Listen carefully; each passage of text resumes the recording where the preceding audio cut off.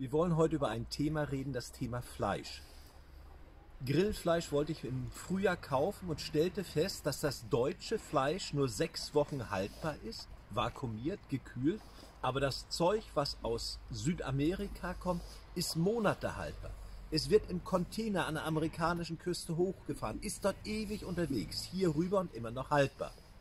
Okay, ich habe mich dafür interessiert, warum ist das so? Es gibt Aussagen, okay, die Tiere fressen dort Trockner. Welch Schwachsinn.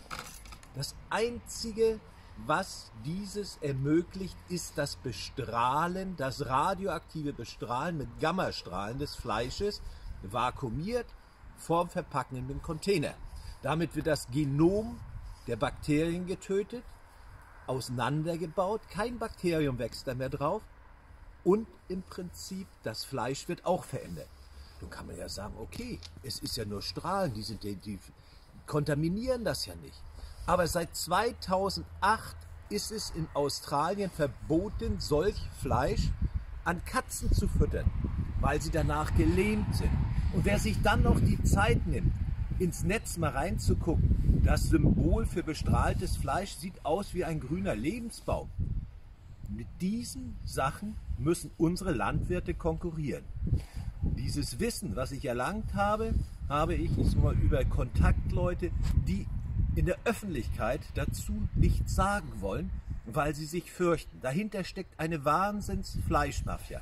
Dieses Ganze ermöglicht Edeka, Aldi und so weiter, Schweinefilets aus Chile als Frischware hier rüber zu kriegen.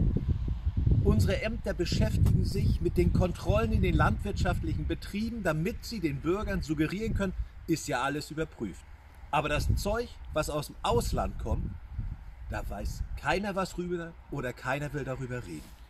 Wichtig ist, die Landwirte, die jetzt ihre Demonstrationen vor den Zentrallagern der großen Handelsmonopole machen, die schützen ihr Einkommen, uns aber auch, wenn wir es öffentlich machen, vor diesem Dreckzeug, was dort unter Regenwaldabholzung, unter Hormonchips aufgezogen wird und dann als bestrahlte Ware auf den Tisch kommt.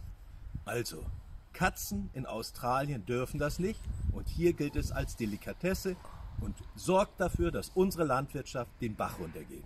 Danke.